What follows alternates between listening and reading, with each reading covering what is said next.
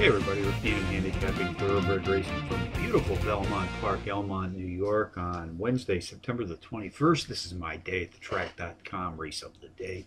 Take a look at race 6 this afternoon, folks, 4.09 p.m. Eastern Post Time.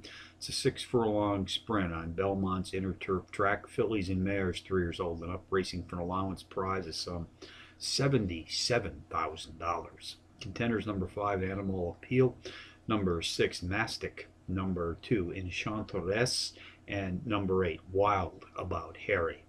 Number five, Animal Appeal, shares the overall speed honors in this allowance field, sprinting at six furlongs on the turf with number two, Enchantress, who is an Irish Braintree, and has hit the board in each of her last five with her last four board last four board efforts, including back-to-back wins in her second and third races back, also qualifying as power runs.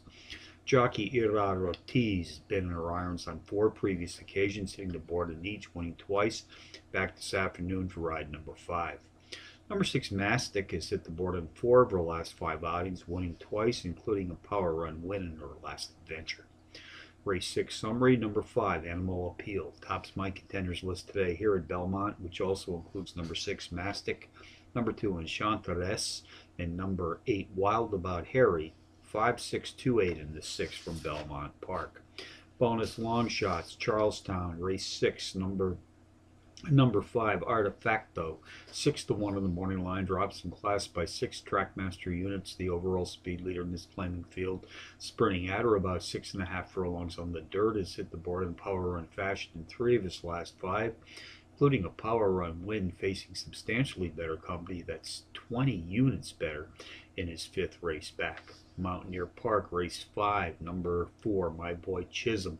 A four to one shot drops in class by five TrackMaster units is the overall speed leader in this field, sprinting at five furlongs on the dirt, comes off a power run place finish, facing better company in his last start, missing a circle trip in that race by less than a length.